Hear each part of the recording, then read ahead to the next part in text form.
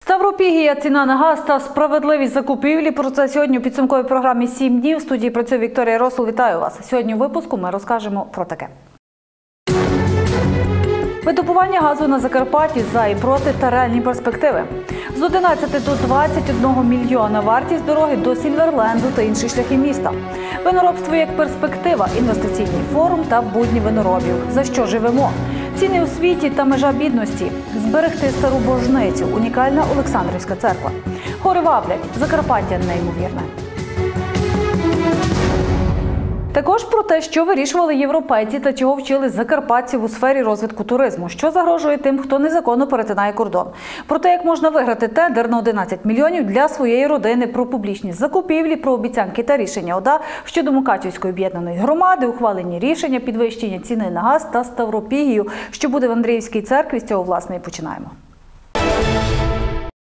Верховна Рада України своїм рішенням відновила Ставропігію Вселенського патріарха в Києві. Цитую, своїм рішенням Верховна Рада відновлює Ставропігію Вселенського патріарха в Києві і новою Ставропігією, яка буде виконувати роль резиденції Всесвятішого патріарха Варфоломія і представництвом Вселенської Константинопольської церкви стане Андріївський храм на Андріївському узвозі в Києві. Про це зазначив голова Верховної Ради перед голосуванням у парламенті. Парубій повідомив, що цю ініціативу підтримали всі ієрархи Української православної церкви Київського патріархату, Української автокефальної православної церкви і навіть частина єпископів Московського патріархату в Україні, які підтримують створення єдиної помісної української православної церкви.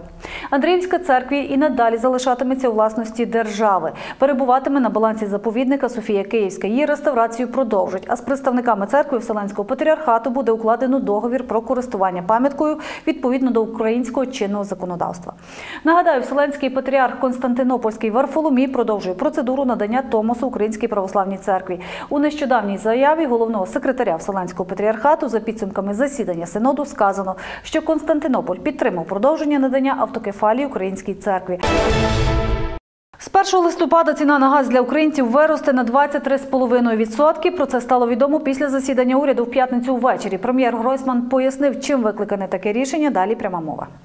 Більше року я вів переговори з міжнародним валютним фондом і наполягав на тому, щоб зняти з порядку денного взагалі питання підвищення цін на газ. Більше року ми стримували таке підвищення, але не все, на жаль, не все в моїх силах. Зобов'язання вирівнювати ціну на газ для промисловості і для побутових споживачів Україна вперше взяла у 2008 році. І з того часу це зобов'язання є в кожному меморандумі з МВФ. За ці роки, в тому числі, під саме це зобов'язання були залучені рекордні майже 50 мільярдів доларів. Це практично один річний бюджет загальної країни. Але у мене виникає закономірне запитання: чи стали українці внаслідок тих запозичень багатшими?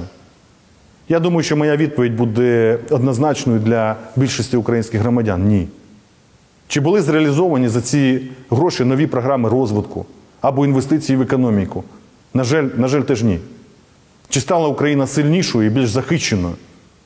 Знову ні. Зобов'язання залишились в силі, а тепер ще і прийшов час повертати ці борги, які були створені саме за ті роки.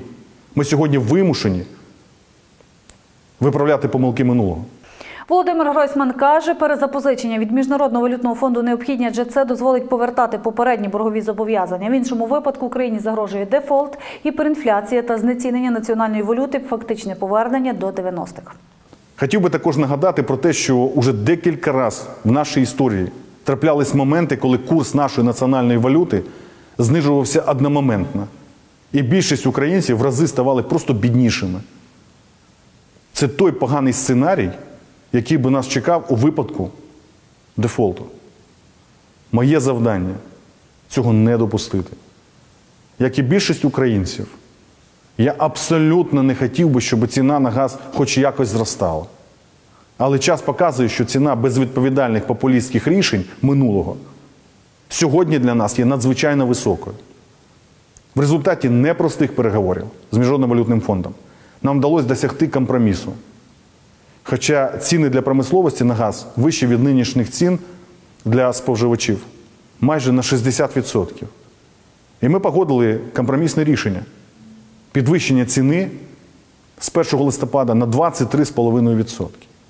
В результаті переговорів ми також домовились про нову програму, яка буде діяти в 2019 році і забезпечить нам підтримку в період особливо пікових навантажень по сплаті державних боргів. Зараз ці переговори на фінальній стадії.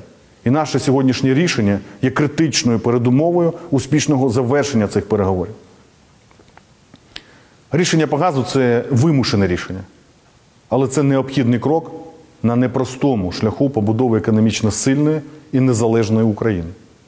Гройсман каже, буде переглянута і низка рішень щодо субсидій, щоб ті, хто їх потребує, могли їх отримати. Звернувся й до органів місцевого самоврядування вживати всіх заходів по енергозбереженню і використовувати кошти на їх ефективні заходи.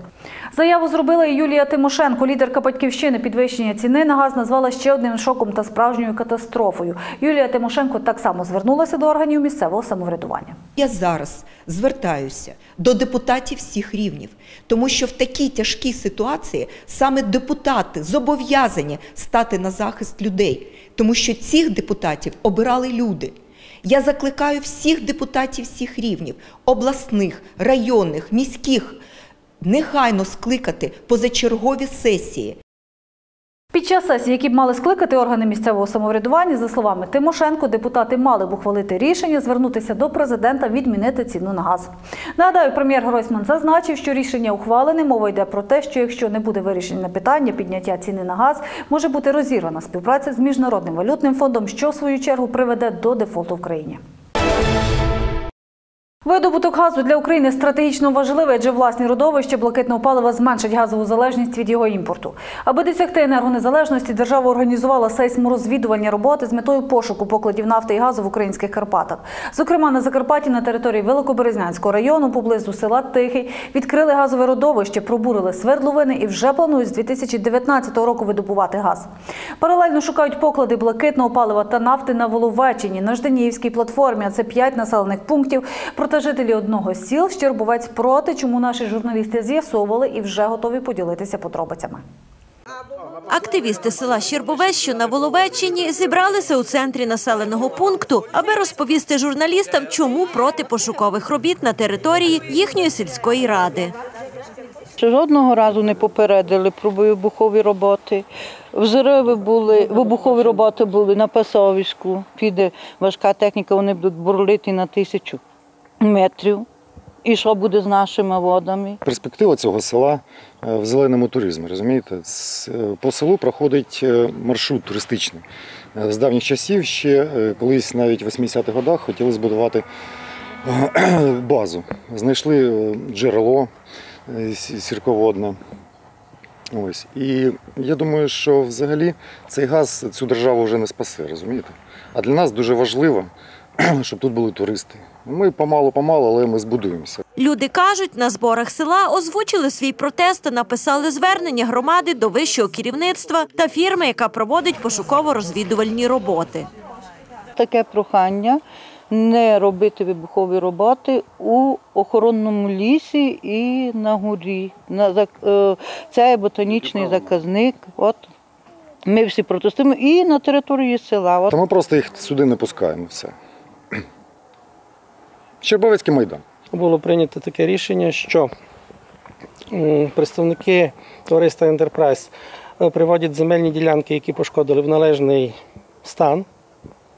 По-друге, є прохання про припинення е, вибухових робіт до вияснення всіх питань о, законності. Сільський голова каже, у серпні прийшов лист від компанії Enterprise Ltd, що на території Воловецького району, у тому числі Щербовецької сільради, проводитимуться сейсмологічні дослідження щодо виявлення родовищ нафти і газу у рамках державної програми, затвердженої Кабміном. Не було, не було подано е, підприємством е, всіх цих необхідних документів про початок робіт, про проведення вибухових робіт і так далі. Питання виникло в тому, що е, це є гориста місцевість зараз. Тут є ботанічний заказник місцевого значення, і жителі десь у законний спосіб е, питають, чи є право у даного товариства проводити роботи в цьому заказнику. Раз. Друге питання надання дозволу. На проведення вибухових робіт на території Щербоїцької сільської ради. Які наслідки будуть, це поки що ми не можемо, не володіємо такою інформацією. В свою чергу тамтешні кажуть, що не давали згоди на проведення вибухових робіт на території сільради. Ні, ні. Бу- Була одна зустріч, була одна зустріч, котра е, на ній була мова про те, що про відшкодування. І на той момент, е, я точно пам'ятаю слово в слово, е, мова йшла про вертольоти, котрі в святу неділю літають, і машини їздять. Нам привезли дві машини щебню. Все. Натомість, буквально за 200 метрів від церкви, де проходить туристичний маршрут, люди показали наслідки пошукових робіт. Колії від вантажівок серед пасовища, зруйнований тин та воронку від вибуху. Один із селян побачив дротики, які стирчали із землі, потягнув і знахідка налякала всіх присутніх. Це таки заряди, мабуть. Це 100%. Без слов. Люди налякані, адже знайшли щось схоже на вибухівку, а тут гуляють діти. Могло статися непоправне лихо. Тому кажуть, викликали поліцію, написали заяву, аби фахівці розібралися, що це за підозріла речовина, чому не спрацював заряд, та дали оцінку ситуації: це халатність чи недбалість, чи це небезпечно для жителів села. Прокоментували це і представники Львівгазвидобування. Зараз проводиться якесь службове розслідування, що то сталося, чому воно відказ, чому ці вибухівка не спрацювала. Ну, вона мала би спрацювати, по ідеї, вона не загублена, вона мала спрацювати. А чому я не знаю? Це там є відповідні фахівці від того, які це робили. І зараз проводиться там своє службове розслідування. Поки правоохоронці з'ясовують обставини цього інциденту, спробуємо розібратися у суті пошукових робіт. Ми виконуємо державну програму, державне замовлення компанії акціонерного товариства Укргазвидобування е, в його особі Львівгазвидобування. Роботи проводяться е, вибуховим методом. Тобто, у нас є сейсмічне обладнання, яке ми розмотуємо в полях. Потім беремо свердловини, які е, потім їх е, зриваємо, і вся інформація наша надходить на реєструючу станцію. І е, те, що це виходить той матеріал, який ми повинні дати замовнику. Гора не буде входити в ліцензію. Ну, в ту площу, яку ми досліджуємо. Ми досліджуємо, але от гора туди ніхто не буде лізти. Ні, ніхто не буде бурити, досліджувати нам треба, але бурити, щось там добувати, ніхто не буде лізти. Просто йде вивчення території, структури землі, як там є на глибинах, а е, видобування, пошуки і так далі, буріння поки що ще не планується. Поки що ще. В майбутньому може бути, а тепер ні. То однозначно. І взагалі все, все що робить е, Укргазвидобування, це виключно е, через погодження з е, ну, відповідний етап, відповідні державою передбачені дії. І ми то робимо, ми то виконуємо. Крім того, за пошкодження земної кори в межах дворогосподарств їх власники отримають компенсацію.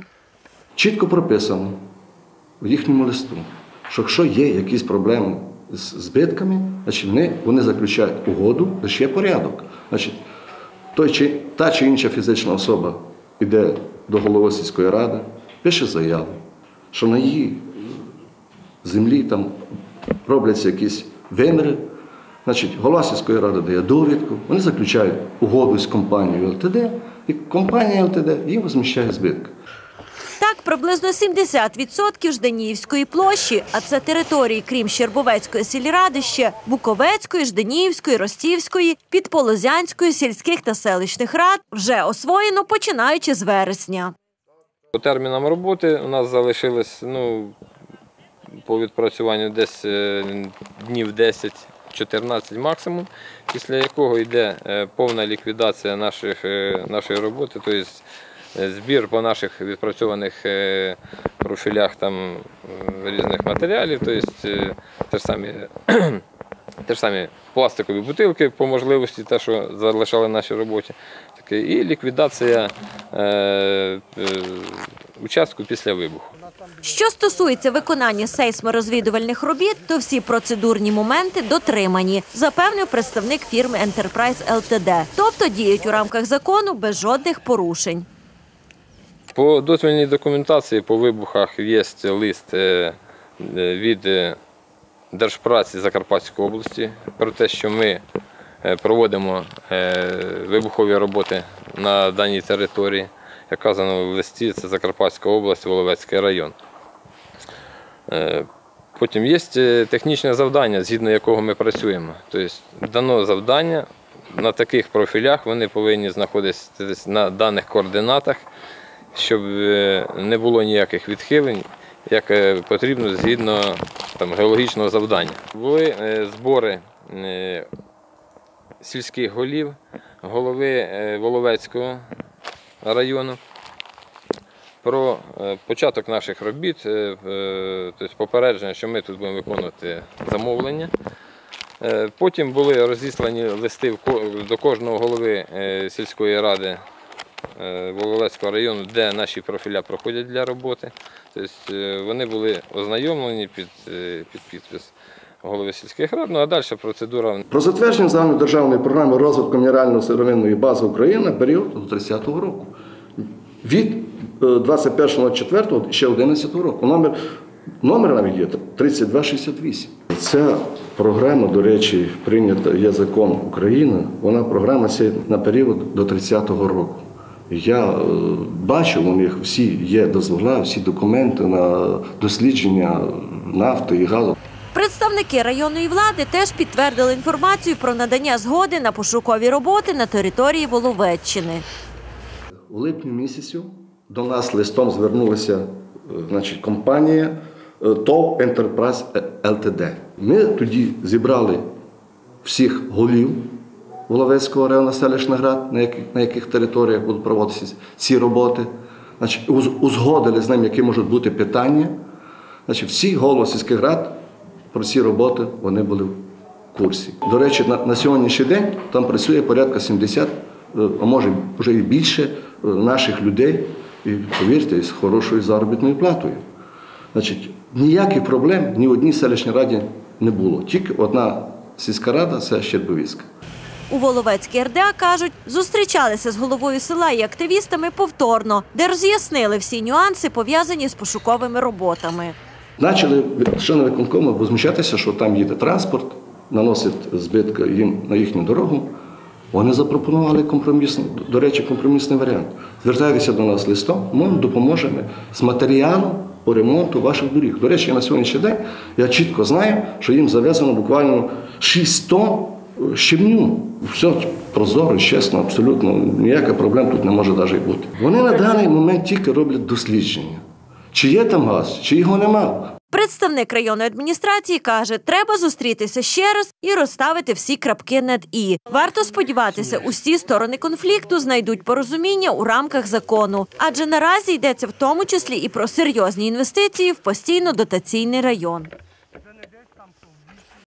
Верховна Рада розглянула проект державного бюджету 2019 в першому читанні. За ним зростають доходи держбюджету, мінімальна зарплата та витрати на оборону. Зменшуються витрати на субсидії та утримання чиновників. Зростання ВВП 3%.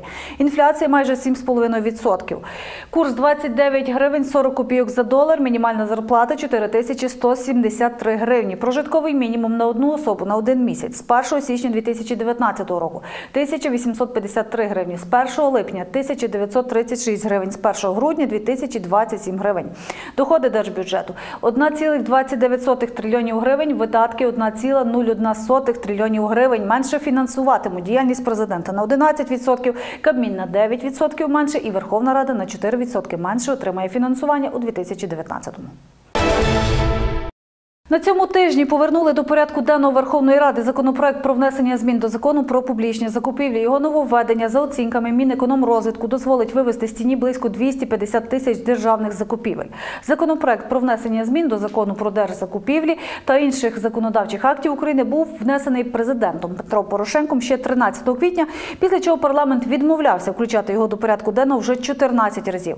Законопроект має вдосконалити роботу прозоро, врегулювати допорогові закупівлі, вдосконалити оскарження торгів дозволить бізнесу виправляти технічні помилки в документації, запровадить електронні каталоги та розширить перелік дій, за які замовників можуть покарати. Ну а тим часом на сайті Прозоро, де згідно закону мають оголошуватися всі державні закупівлі, оприлюднена інформація про те, що на будівництво дороги Андрея Шептицького у Мукачеві оголошено тендерна увага 20 мільйонів 848 тисяч 267 гривень. Замовник управління міського господарства Мукачевської міської ради кінцевий термін подання пропозицій 28 жовтня.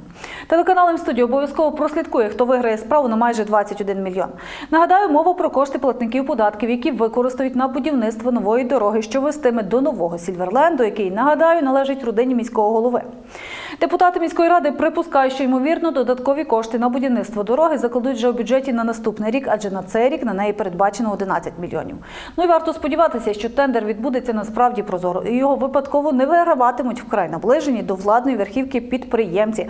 Принаймні на це сподіваються обранці та пересічні платники податків.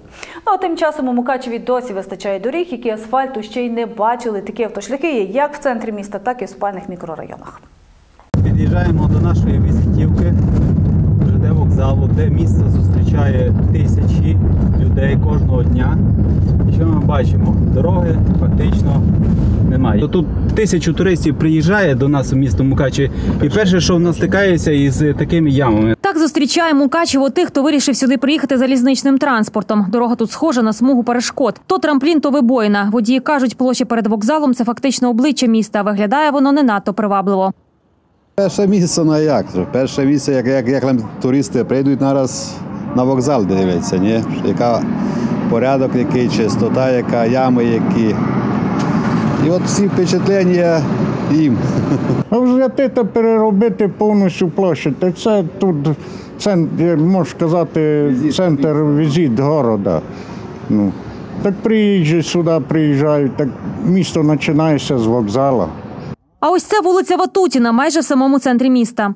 Та бачите, виїжджаємо прямо на другу школу, центр міста Мукачева. Ну, ну як так можна Дороги тут фактично немає, хоч поруч автовокзал та школа. Також розміщені на вулиці різноманітні офіси, працівники яких інколи не можуть під'їхати до місця роботи.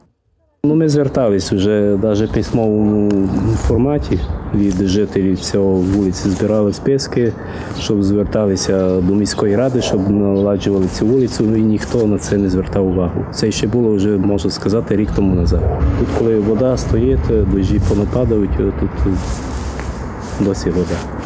Ще одна вулиця, де дороги також немає гулака Артемовського. Про асфальт люди мріють не один десяток років. Нічого не зроблено для того, щоб е, зробити тут е, тверде покриття.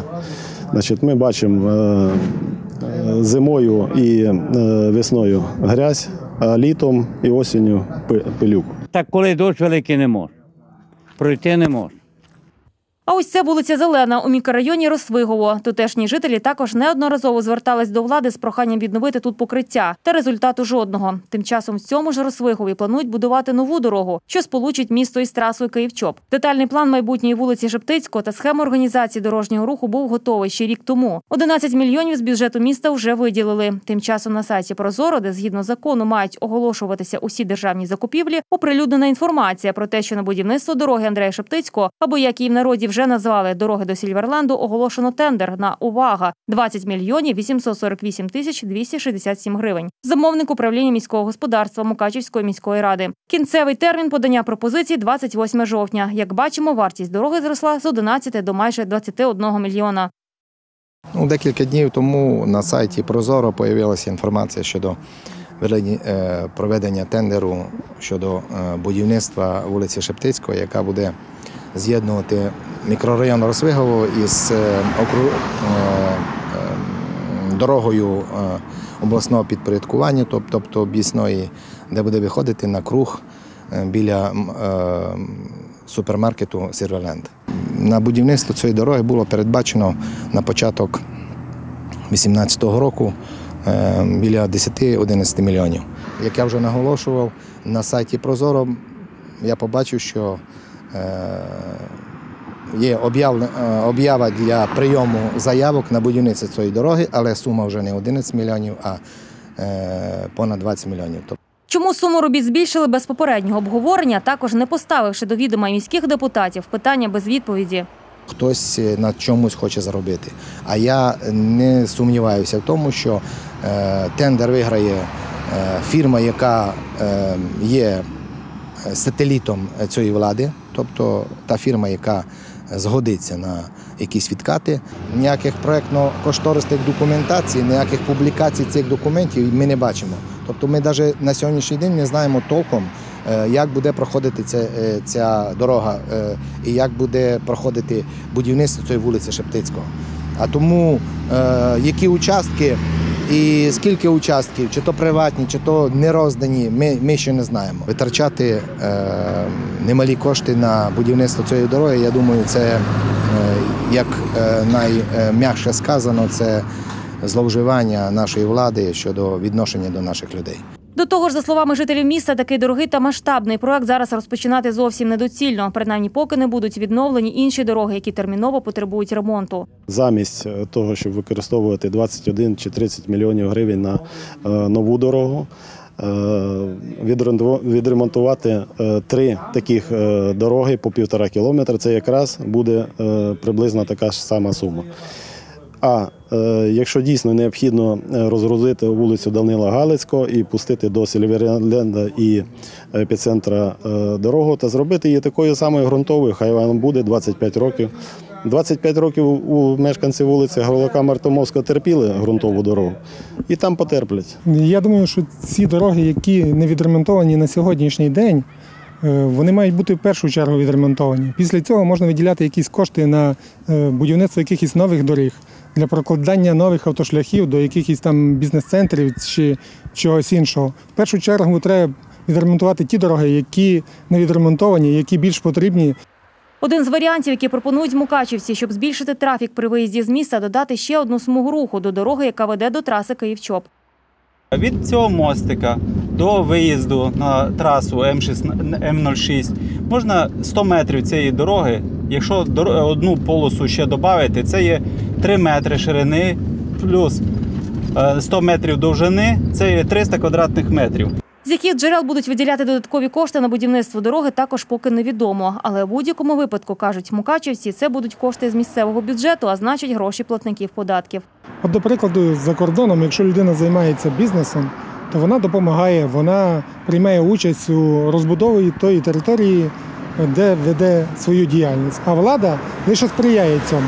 От так би повинно бути і у нас.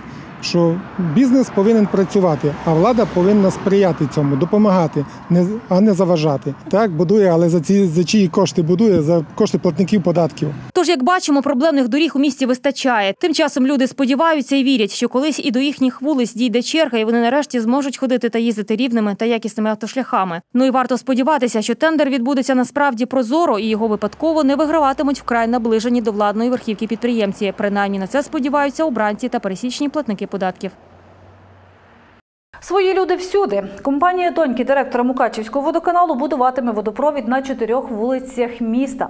Управління міського господарства виконкому Мукачівської міської ради за результатами відкритих торгів 11 жовтня підписало договір на будівництво системи водопостачання та каналізації на вулицях Підгородська, Юрія Поневача, Олександра Павлюка.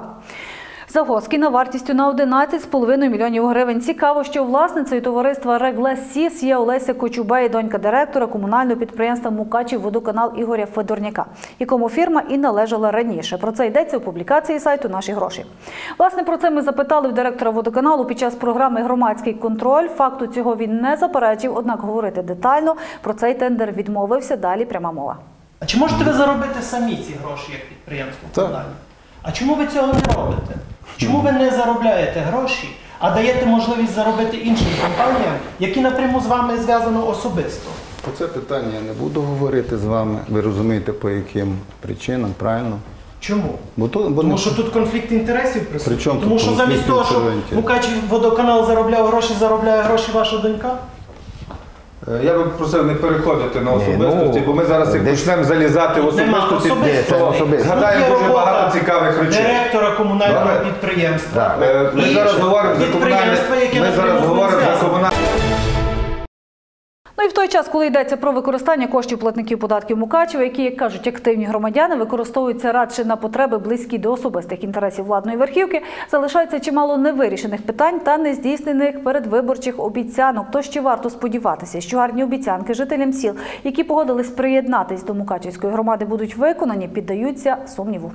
На початок своєї каденції, як і голова, так і провладна більшість наших депутатів е, заявляли про дуже багато е, е, надбань, які вони хочуть зробити е, в цьому періоді.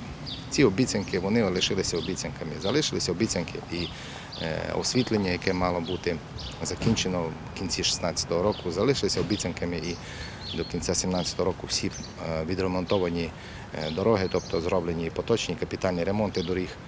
На жаль, це все поточна робота цієї влади, і вона як пообіцяла, так вона і залишилася ці обіцянки на папері. На жаль, е, це і є сутність цієї, е, цієї влади, це є сутність цих депутатів, які е, активно підтримують керівництво нашого міста. Ви знаєте, яка більшість сьогодні керує в нашому місті. Це провладна більшість партії ЄЦ. Іван Білащинець наводить кілька прикладів, які доводять, що обіцянки так і залишились невиконаними. Називає кілька об'єктів, відсутність яких не роблять честь місту. А це і відсутність е, будинку культури, який сьогодні в нас е, його немає в місті. Е, Тільки в цьому році розпочато якусь, якусь долю робіт по будинку вчителя, тобто будинку русинів, як ви знаєте. Розібрали кришу і нічого далі не роблять. Е, Я вже не говорю у е, таких сферах, як спорт. Спорт взагалі у нас е, практично у нас немає ні спортивних майданчиків, у нас немає ні спортивних залів. Влада в принципі не цікавиться. Ми самі знаємо, що здоров'я це те, для чого повинні ми жити і жити наші діти. На жаль, влада цим не цікавиться, їй це не цікавить. Владу цікавить тільки ті об'єкти, які приносять їм зиск. Нагальної потреби для будівництва цього об'єкту, я думаю, не було. Е, Другим таким е, великим досягненням в скобочках нашої влади це е, реконструкція будинку офіцерів під будинок культури.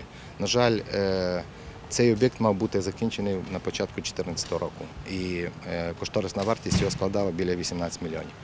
На жаль, вже витрачено більше як 70% із затверджених 50 мільйонів. Владу цікавить е, єдине це їх зиск і більше нічого.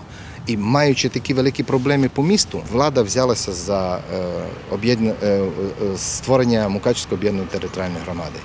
Експерт каже, в той час, коли є десятки невирішених питань по місту, як от проблеми з дорогами, дахами, багатоповерхівок, благоустроєм, чомусь влада взялася активно приєднувати навколишні села, і пояснення цьому має зовсім просте. Влада має в цьому е, зацікавленість. Чому? В першу чергу це земля. Е, Але земля землею, але е, перед тим, якщо б влада була чесна перед своїм, своїми виборцями, своїми мешканцями міста, вона би як мінімум через опитування знала думку, а не с- е, е, е, винести рішення на затвердження сесії. Е, Прості люди, які сьогодні сплачують податки і утримують цю е, владу, що дасть е, корисно це об'єднання. На жаль, цього не зроблено, і до сьогоднішнього дня ніхто нічого не говорить. Е, Яка е, позитивна е, сторона цієї, можу так назвати, зділки е, буде для простого, простого жителя нашого міста. Е, Сільські селищні ради, які дали згоду на приєднання, це е, вони е, несуть за це відповідальність. Питання, чи матимуть користь від об'єднання жителі сіл, очевидно відкрите, адже якщо в місті є стільки невирішених проблем, то говорити про те, що їх вирішуватимуть у селах, навіть не доводиться, і це цілком очевидно, кажуть експерти. Тим часом обласна державна адміністрація розглянула листи Мукачівської міської ради про надання висновку щодо рішення про добровільне приєднання сіл Лавки, Шенбурн, Павшино, Нижній Коропець, Нове Давидково до Мукачівської міської територіальної громади міста Мукачева Закарпатської області. Наразі документи повернули до міської ради на доопрацювання. Є деякі розбіжності е, з діючим законодавством. Е, Вони просто дуже спішили е, ми направили їм на доопрацювання. Їм ніхто не відмовив. Значить, ми чітко розписали, що, куди і як. Є Конституція. Перше, я не є тлумач Конституції. Вони направили мені на відповідність, щоб я дав висновок Конституції України. Це чисто прегратива тільки Конституційного суду. Друге, законом України ми чисто розписали, де не відповідає, в тому числі земельному кодексу. Вони мають звернутися до Верховної Ради, поміняти межі міст, розширити межі міста, зушити межі району. Е, Це не ми робимо, це норма закону. Якщо це буде зроблено в правовому полі, а не ура, ура, ура, значить, е, на ура. Тут нічого немає, значить, е, без мого висновку, хоча цей висновок не передбачений е, законом про місцеві державні адміністрації, ми все вказали. Чітко в кінці написано: направляємо на доопрацювання. Вони все одно ж не попадають в цей бюджет, бо вже е, сьогодні мали, мали би слухати наші парламентарі бюджет на 2019 рік. І до інших тем Верховна Рада проголосувала за введення кримінальної відповідальності за незаконний перетин кордону. Ухвалення законопроекту підтримали 243 депутати. Перетин державного кордону України з метою заподіяння шкоди інтересам держави або особою, якій заборонено в'їзд на територію України, або представниками підрозділів збройних сил чи інших силових відомств держави-агресора будь-який спосіб поза пунктами пропуску через державний кордон України або в пунктах пропуску через державний кордон без відповідних документів або з документами, що містять недостовірні відомості, карається позбавленням волі на строк до трьох років. Те саме порушення вчинене повторно або групою осіб карається позбавленням волі від трьох до п'яти років. Те саме порушення вчинене із застосуванням сили та використанням зброї каратиметься вже позбавленням волі від п'яти до восьми років. Закон набуде чинності наступного дня після його публікації.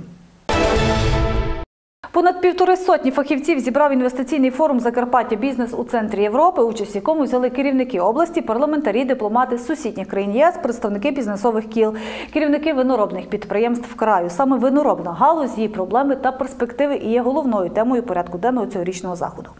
Тож у якому стані виноробство та чого вона потребує думки інвесторів, бізнесменів та простих виробників вина.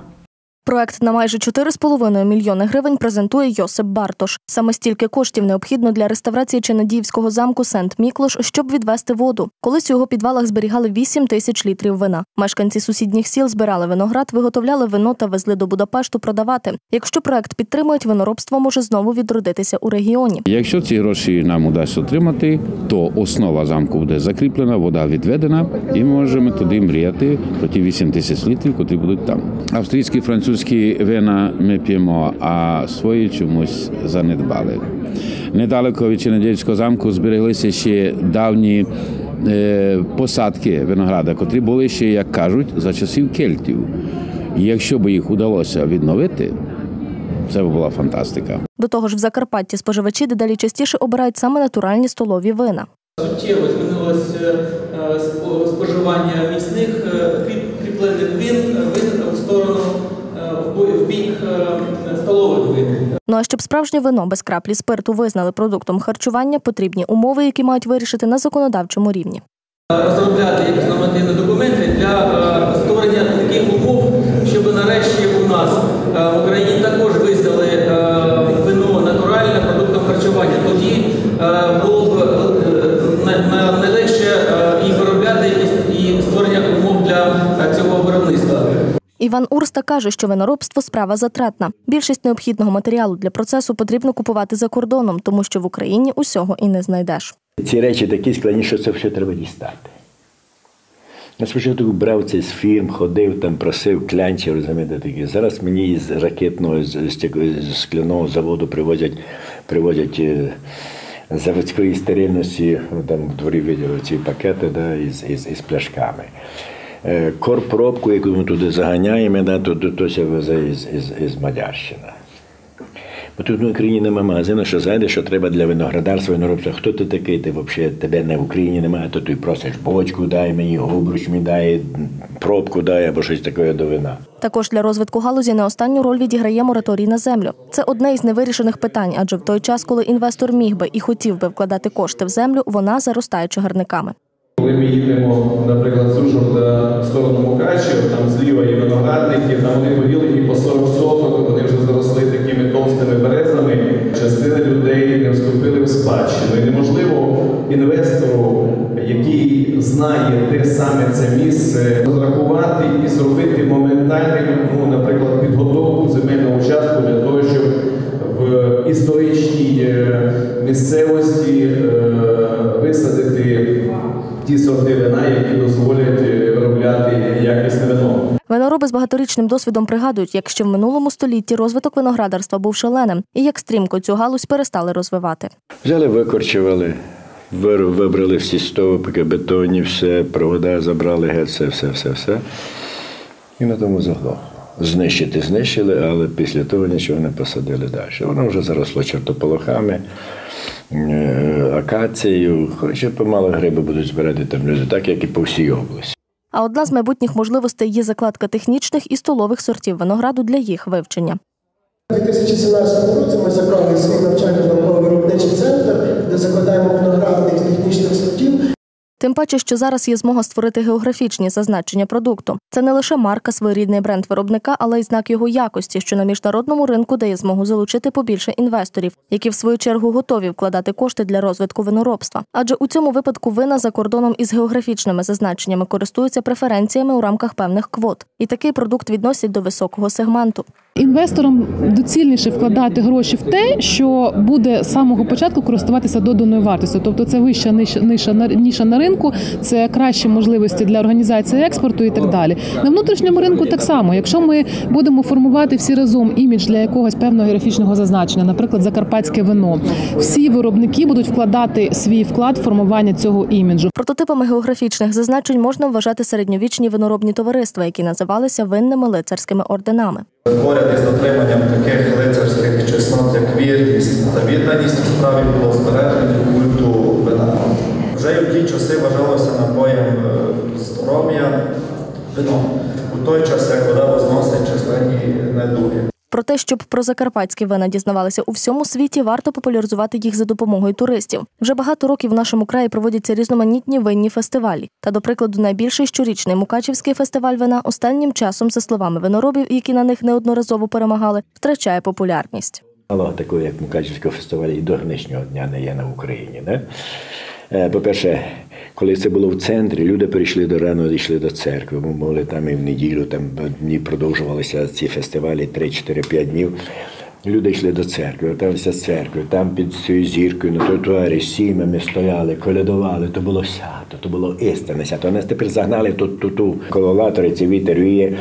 Коли зима така, там старше покоління і близько до того Мукачева не йде на той фестиваль, бо що ногу собі зломити. І туристи, бо заблудиться, не знає то на околиці. Місяць, коротше, це, це втратило так е, під 70% вагу е, Мукачівський фестиваль втратив із-за того, що попав туди.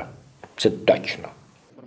За словами Дениса Мана, в загальному інвестори, одними з яких є Нідерланди, близько 70% фінансів вкладають у промисловість. На щорічному інвестиційному форумі представники саме цієї країни висловили готовність розвивати і закарпатське сільське господарство, у тому числі і виноробство.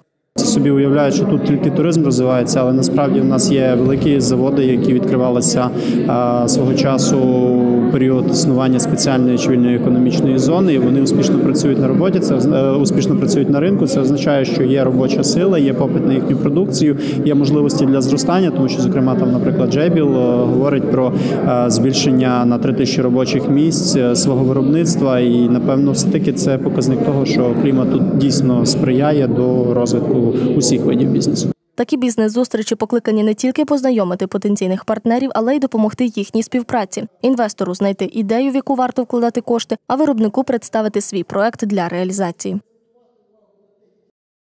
17 жовтня у світі відзначили Міжнародний день боротьби з ліквідацією бідності. Понад 3 мільярди населення землі знаходиться на межі виживання. Якщо брати нашу країну, то у порівнянні з минулим роком вона поліпшила позиції в рейтингу бідності, перемістившись з 5 на 7 місце в топ-10 найбідніших країн світу. На цей час третина українців пов'язує своє краще майбутнє із переїздом за кордон. Ще два роки тому ця цифра була майже в половину меншою. Мій колега Євген Пасічник спілкувався із закарпатцями, для яких міграція стала новим життям. Згідно із даними Світового банку, межа бідності в країнах із рівнем доходів нижче за середній становить 3 долари 20 центів на день, а із рівнем доходу вище за середній 5 доларів 50 центів. Світовий банк зазначає, що крайнє зубожіння визначається життям менше ніж на 1 долар 90 центів на день. Ми поспілкувалися із закарпатцями, які змінили свою батьківщину на Сполучені Штати Америки, Естонію, Об'єднані Арабські Емірати, Кіпр та Польщу. Всім привіт! Мене звуть Діана. Я з міста Мукачева, але вже більше року проживаю на території США в Нью-Йорку. Наші ціни залежать від того, як і чим ти харчуєшся. За 1 долар можна придбати напівфабрикати або консервовану їжу. Приблизно 90% е, йде на оплату житла, яке в Нью-Йорку дуже дороге, е, на оплату комунальних послуг, страхування, машини, е, інших рахунків, такі як кредити оплатити. За даними Нацбанку, Польща опинилася на першому місці серед країн, з яких найбільше надходять приватні перекази в Україну. Лише за кілька місяців звідти надійшло майже 900 мільйонів доларів. Багато наших співвітчизників там ідуть у банківську сферу. Якщо раніше українці працювали офіціантами, прибиральниками на будівництві, то зараз все більше іде працювати у бізнес-сферу. Серед міст фаворитів Варшава, Вроцлав, Краків, адже саме там у Польщі найбільші роботи в економічному секторі. Я прожила найбільше, напевно, в Німеччині, в Франкфурті рік. В Польщі я прожила півроку і в Америці 5 місяців. Так розкажу вам про Польщу. Там я прожила майже майже 7 місяців у столиці, у самому серці Польщі в Варшаві. І якщо говорити про ціни у Варшаві, то ем, це оптимальні ціни е, на оптимальну зарплату. За місяць ви будете платити за житло від 600 злотих. Закупитися в магазині вам вийде навіть при бюджетному варіанті від 50 злотих. Ем, Зарплату ви отримуєте в межах 2700 злотих до 3000 злотих. Але якщо ви будете працювати багато, за овертайми вам будуть доплачувати. За рік із України виїхало близько мільйона людей у пошуках кращої долі за кордоном. Щомісяця близько 100 тисяч людей стають трудовими мігрантами. На сезонні роботи ця цифра зростає у рази. Якщо брати до прикладу Естонію, країна Прибалтики. За повідомленням їхнього міністерства внутрішніх справ у цій державі видали рекордну кількість термінових видів на проживання за перші 6 місяців поточного року. Їх було видано 1268. З них 941 отримали громадяни України. 108 Білорусі, 95 Росії та ще 124 громадяни інших країн. Работал в Польше, в Чехии, в данный момент в Эстонии. По поводу Эстонии коротко. Зарплата э, от 800 евро до 2000. Э, для украинцев официальная зарплата должна стоять э, минимум 1300 примерно. По поводу жилья э, работодатель, некоторые работодатели дают жилье бесплатно, то есть ну, жить можно. И автотранспорт дают. Мне конкретно дали жилье бесплатно и транспорт рабочий. Э, почему уехал э, с Украины? Ну, как бы э, работая в разных сферах, то есть работал и как тренер, и как э, госслуж... госслужащий. Через 600 метров Что на можно сказать, развилке э, держитесь левой стороны. Это больше выживать, не работать э, в Эстонии, да? Э, Можно отлаживать. На э, развилке процентов 70 держитесь левой отлаживать. стороны. Конечно, ну, не так, что каждый, каждый день будешь гулять, но ты будешь работать и позволять себе и кушать хорошо, и Продолжайте всё, и движение. одежду прикупить, и 70% сможешь еще отложить. І далі про Кіпр. Робочий день місцевих починається орієнтовно із 7.30 ранку і триває до 14.00 в літній час. Взимку з 8.30 до 15.30. М'яко кажучи, не напружуються. Мінімальна зарплата кіпріота коливається. Зазвичай починається із 700 доларів. Е, Рівень прибутку громадян Кіпра є високим. Рівень прибутку високим, який покриває рівень витрат. Рівень витрат також є високим. Але насправді громадянам Кіпра не потрібно ні від чого відмовлятися, щоб щось мати. Середня заробітна плата Кіпру є 1500-2000 євро. На цю заробітну плату спокійно можна сходити в ресторани, купити, користуватися якісними супермаркетами. Об'єднані Арабські Емірати країна достатку і найвищого рівня життя. Зарплати там від 600 євро, няні з проживанням, прибиральники, будівельники. Готельний і ресторанний персонал отримує 900-1100 доларів плюс соцпакет.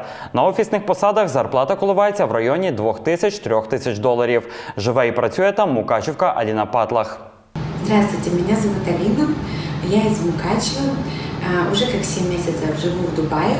За 1 доллар у нас можно приобрести две бутылки питьевой воды, один билет на автобус или э, час парковки в городе. Э, В соотношении к зарплатам цены у нас высокие, А, но все же хватает на еду, на развлечения и хобби.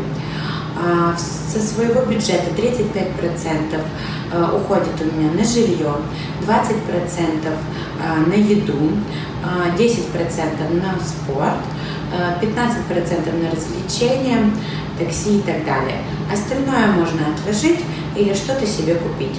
А, Ну, конечно, мне иногда приходится себе в чем-то отказывать. Спасибо за внимание. До свидания.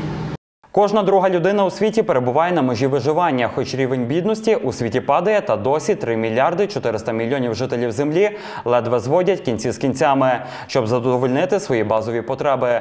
Традиційно українці сповнені оптимізму і вірять, що вони лише на початку великого шляху вперед. Команда проекту Туристичні кластери 300 плюс з Києва разом зі світовим фахівцем та німецьким експертом з туризму Гансом Ульріхом Трозіненом взялися пропагувати кластер як такий по Україні. Кінцевою зупинкою робочої поїздки став наш край, зокрема Хуст та Ужгород. Однак як їх формувати кластери та що воно таке взагалі? Що потрібно для розвитку сфери туризму на Закарпатті? Вікторія Василинець продовжить. Туристичний кластер як прогресивна модель розвитку туризму в регіоні. Про це говорили в хусті зі світовим фахівцем туризму, німецьким експертом та автором стратегії міста Батумі Гансом Ульріхом Тройзієном та командою проекту Туристичні кластери 300+. Основна мета це розвивати туризм в Україні, розвивати економіку. Ми хочемо привозити найкращих експертів, які вже мають успішний досвід. Я був запрошений Федерацією роботодавців України у сфері туризму для того, щоб допомогти просувати проект туристичні кластери 300+. Вони хочуть розвивати кластери і на Закарпатті, зокрема в Хусті та в Ужгороді. Я допомагаю їм показати представникам туристичної сфери, наскільки це важливо, наскільки важливо працювати разом, і як саме тут це можна застосовувати та використовувати. Основні цілі це поставити Закарпаття жирною крапку на мапі е, не тільки України, е, взагалі світу, е, сформувати якісь комплексні продукти, за рахунок е, яких можна просувати Закарпаття. Е, конкретно для чого Е, сформувати такий продукт, за яким би їхали сюди люди е, спершу з України з усієї, ну а потім це вже розповсюдження як е, за кордон, залучення інвестицій і інтересу. Власне, фахівці кажуть, що туристичний потенціал у Закарпаття є. Однак, аби його розвинути якнайкраще, необхідно спиратися на досвід, здобутий практикою. Щодо хуста, то він має і свої особливості. Тут дуже приємна атмосфера. Нагадує якесь невелике туристичне європейське містечко, де людина може побути на самоті, подивитися історичні пам'ятки, насолоджуватися якоюсь екстремальними спортами, активністю та відпочити від великого місця. Нам сподобалось те, що ми побачили, і тут вже є гарні готельні комплекси, е, інфраструктура, і вже можна багато робити. На основі світових стандартів можна скласти план дій і підвищити сервіс та якість туристичного продукту в контексті сталого розвитку нашого краю. Дуже важливо об'єднати зусилля представників туристичного бізнесу і влади. Це база, без якої нема розвитку та успіху. Рекомендується створити асоціацію або ж кластер. Неважливо, як ви це називаєте, але представники туристичної сфери повинні згуртуватися, аби досягти спільної мети. Слідуючий який крок? Якщо ми знайдемо в собі сили, ми зробимо під якоюсь егідою цю інвентаризацію. Далі що ми робимо? Let's try to answer again the question after the inventorization. What is the next step? The next step is to come together and check it out, the plus and minus, what you have, and uh, to connect it, to make a network. То, что у нас в минусе и нам важно, мы должны это э, получить, ну, допустим, нету инфраструктуры, нету достаточно э, мест для проживания, чего-то, то есть там мы должны создать, или где мы можем найти, или где мы можем поселить. И плюсы. Мы уже можем использовать это, и нам нужно об этом всем заявлять, э, и ну, чтобы мы уже начинали с этого зарабатывать. Тож в основному присутні запитували, з чого починати, яким чином зробити інвентаризацію, як таки сформувати асоціацію, яка б усіх об'єднала. Наразі враження від зустрічі доволі таки змішані. Я чув багато позитивних відгуків. Однак разом з тим був присутній у залі і скептичний настрій. Не знаю, чому так. Можливо, із за якихось об'єктивних причин, які беруть свій початок десь у минулому. Тому поки ще не всі вірять у формування кластеру, що потрібно об'єднуватися і працювати спільно. Треба ще більш детально пояснити для людей, для виробників, е, які саме мають бути от е, критерії об'єднання, чи це за напрямком е, спрямування виробництва, чи це туристичних послуг. Ну багато багато ще роботи. Це ми дізналися, і будемо працювати в цьому напрямку. Підбили підсумки зустрічі її організатори. Нам сподобалось це завжди конфлікт. е, Розвиток він завжди відбувається через конфлікт. Учасники були дуже заінтересовані, дискутували. У нас немає магічної пігулки. Треба діяти. Це, це все, що ми можемо сказати. Люди зацікавлені, є проблеми, і е, саме цікаве є бажання, бажання розвиватися і вирішувати ці питання для, для подальшого розвитку краю. Туризм це креативна економіка, яка наразі є цікавим об'єктом фокусування та інвестицій для компаній національного рівня. Сьогодні в Україні формується практично новий, потужний, перспективний ринок та ціла екосистема навколо нього, зазначають фахівці. Директор проекту каже, пропагують кластери по всій Україні. Закарпаття стало кінцевою зупинкою робочої поїздки. Це е, були інтенсивні два тижні, Е, і ми бачили різні локації від малих сел е, до великих міст з дуже різним потенціалом та можливостями. Організатори запевнили, подібні зустрічі продовжуватимуться й надалі. Ну і далі про один з унікальних об'єктів, який цікавий і туристам, і етнографам, науковцям. На Хущині представлено чи не найбільше збережених дерев'яних церков, проте є ймовірність, що невдовзі їхня кількість зменшиться. В селі Олександрівка церква Святої Параскеви руйнується на очах. Від унікального настійного розпису, яким і славиться храм, вже мало що залишилось. Експерти б'ють на сполох. Цю зиму божниця може не пережити. Невдовзі на Закарпатті на одну безцінну культову споруду може стати менше. Мова йде про церкву Святої Параскеви у селі Олександрівка на Хущині. Прогнилий дах і як наслідок постійна вологість і сирість поступово знищують будівлю. За зовнішнім виглядом храм в Олександрівці схожий на церкви Сокірниці, Крайникова і Данилова, проте має деякі свої характерні особливості. Зокрема, відкритий ганок. А ще ця церква найгармонійніша. Саме тут найкраще поєднано вертикальні і горизонтальні лінії, тому храм є найбільш правильно пропорційним. Багатьма дослідниками, вітчизняними і зарубіжними, доведено, що нижні зруби божниці можна віднести до кінця 15 століття. У 751 році її оновили. Звичайно, збудували верхи і оновили якраз саме вежу з 1700 51 по 1753 рік. Тут е, сконцентрована така рівновага між е, вертикальними і паралельними якраз самі лініями. Менш е, виражений, звичайно, вертикалізм, сама вежа, але все ж таки увінчується звичайно шпилевидним готичним завершенням в поєднанні по сторям чотирьох маленьких шпилів, що символізує на релігійно-духовному підґрунті сам шпиль Ісуса Христа, чотири маленькі чотирьох євангелістів. Матфей, Іоанн, Лука і Марко, від яких маємо якраз саме святе письмо. Олександрівська церква одна з найстаріших у цьому регіоні і найзанедбаніша. Реставраційні роботи тут не проводили з початку 2000-х. За цей час стеля храму прогнила, а періодичні опади, спека та мороз робили свою справу від унікального стінного розпису, який у 18 столітті виконав місцевий майстер Стефан Теребельський зі своїми учнями. Залишилося не так багато.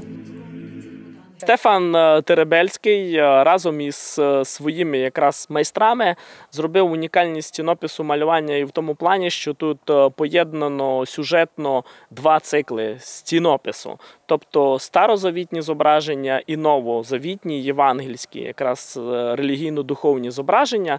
І з того, що нам сьогодні вдалося побачити, розгледіти старозавітніх, це е, колісниця, якою піднімається пророк святий Ілія, вознесення його якраз саме на небо, а також, звичайно, лєствиця з Якова.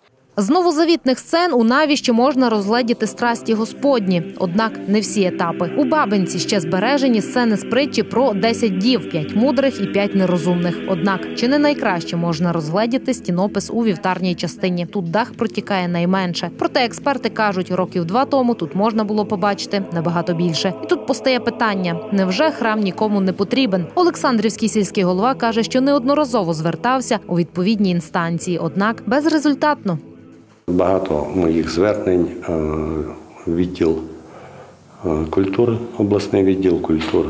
В прошлому році обіщали, ну в цьому році зробили е, кошторисну вартість, проєкт в сумі 600 тисяч гривень. Область потребувала від нас свідоцтва на право власності. Пам'ятки архітектури. Пам'ятка архітектури знаходиться на балансі держави, тобто Верховної Ради. В сільській раді це ж не комунальне. Отже, цьогоріч на реставрацію церкви виділили 600 тисяч гривень, але кошти навіть не починали освоювати, бо треба документи на право власності. Навіщо ці додаткові папери, якщо храм пам'ятка архітектури, а вони знаходяться на балансі держави? Ми вирішили з'ясувати в управлінні охорони культурної спадщини департаменту культури Закарпатської ОДА.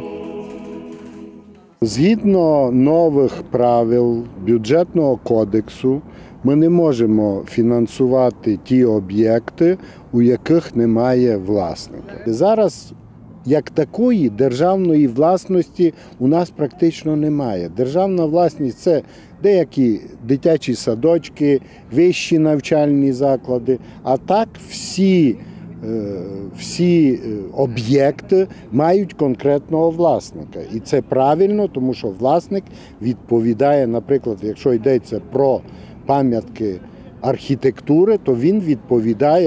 Як повідомив Олександрівський сільський голова, він надіслав листа у Київ за підтвердженням чи спростуванням перебування на державному балансі церкви Святої Параскеви. Якщо підтвердження не буде, громада може взяти храм у свою власність. Проте до нового року ці процедури, якщо і завершать, ремонт не розпочнуть часу замало. Але чи можна розраховувати тоді на ці кошти у наступному році? Мені хустяни обіцяли, що якщо у цьому році, тому що там ми два об'єкти реставруємо: дзвінницю дзвіницю Сокирницької церкви і е, церкву в селі Олександрівка.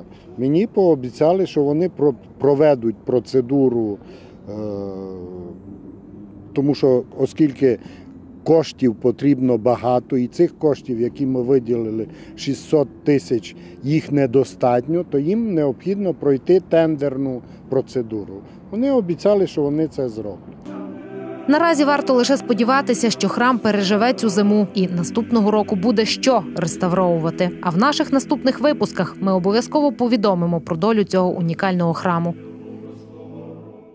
Хоч на календарі середина осені, однак туристичний сезон на Міжгірщині ще триває. Затяжним бабиним літом порадував цього року жовтень, тож туристів у цю пору хоч відбавляє. Як виглядають карпатські схили восени та за чим їдуть сюди туристи, дивіться далі. Жодна порана не дарує стільки різноманітних барв, як золота осінь. Не побувати в цей період у горах означає багато втратити. Тож шукаємо собі провідника і вперед до вершин.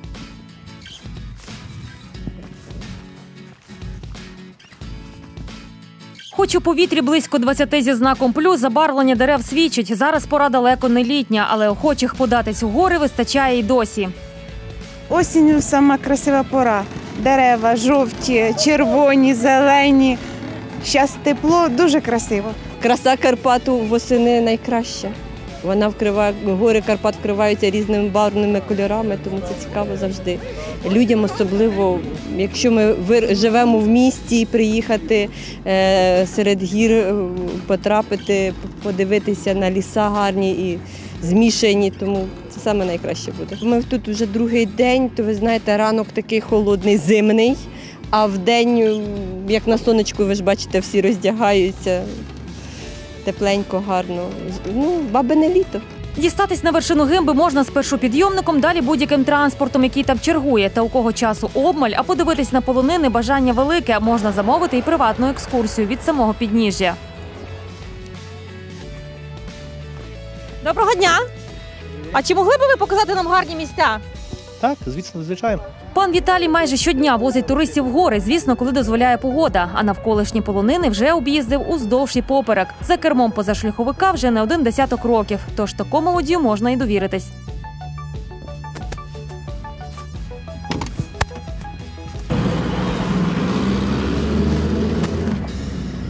Повести нас пан Віталій вирішив скороченим маршрутом, однак більш екстремальним.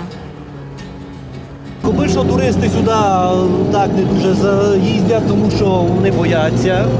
Ми їдемо таким більш екстремним е, шляхом, що ну, мало хто сюди туристів катає, але це от така скорочена дорога на вершину гимба.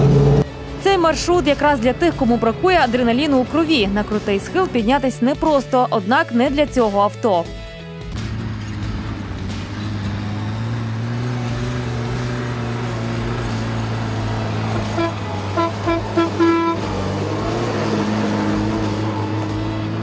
Перша наша зупинка верхня станція крісельного підйомника.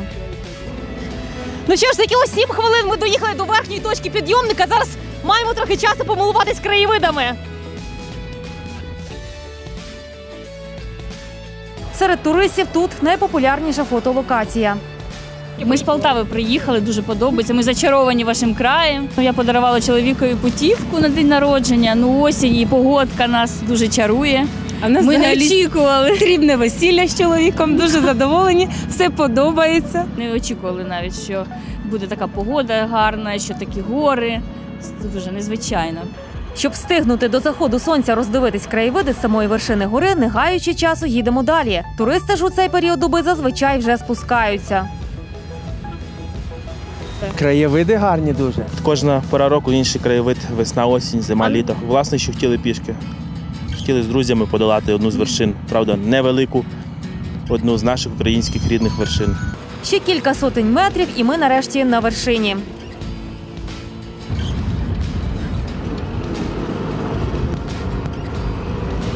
Ось вона, гора Гимба, найпопулярніше місце паломництва туристів. Звідси дійсно відкриваються неймовірні краєвиди. А ось і цей знак, біля якого так люблять фотографуватись туристи. Якщо стояти на вершині у полі зору, навіть гори, які знаходяться більш ніж в 100 кілометрах звідси. Біля ЖД Магури, в сторону з лівої сторони, там е, відніється Говерла. Потім там вже йдуть Колочави, там е, ну, німецька мокра, там е, от, е, вже в ту сторону йде Захар Беркут. Потім е, там Бескід тунель, там трошки відніється Пікуй гора. От, Великий верх. Це от у нас багато туристів приїжджають там з Воловця, з ЖД станції. Вони пішком переходять з Воловця сюди через Великий Верх на гору Гимба і до Пилипця. От там найвища гора у нас тут на Боржавській полонині, гора Стій. Роздивитись звідси можна і деякі населені пункти. На вершині в цей час людей зовсім мало. Кілька запізнілих туристів та парапланеристи, які ловлять свої потоки аж до вечора.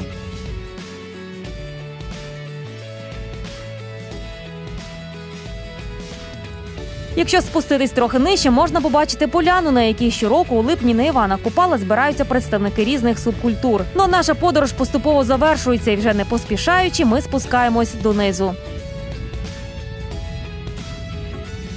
Як бачимо, гори зачаровують у будь-яку пору року. Якщо відкласти свої справи і здійснити ось таку невеличку подорож, купа позитивних емоцій вам гарантована.